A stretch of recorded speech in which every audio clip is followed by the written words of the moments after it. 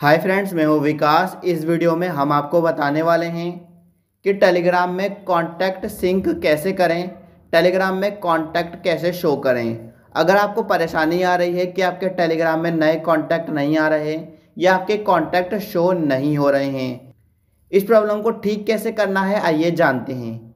सबसे पहले टेलीग्राम को ओपन करके ऊपर तीन लाइन वाले ऑप्शन पर टच करिए। आपको मिलेगा यहाँ पर सेटिंग्स सेटिंग्स वाले ऑप्शन पे आ जाइए और आपको ये पेज मिलेगा।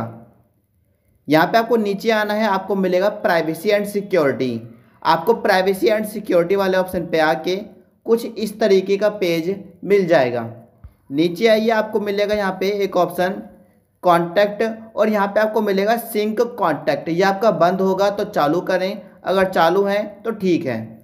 इसे चालू कर दीजिए और अपने टेलीग्राम एप्लीकेशन को एक बार पूरी तरीके से बंद कर दीजिए। इसको इस तरीके से हटा दीजिए और फिर दोबारा टेलीग्राम एप्लीकेशन को चालू करिए। और आपके टेलीग्राम के जो कॉन्टैक्ट है, वो सिंक हो जाएँगे और जो नए कॉन्टैक्ट है, वो आ जाएँगे। पुराने कॉन्टैक्ट भी शो कराने लगेंगे। वीडियो पसंद आई है लाइक करिए चैनल को सब्सक्राइब करना मत भूलिएगा।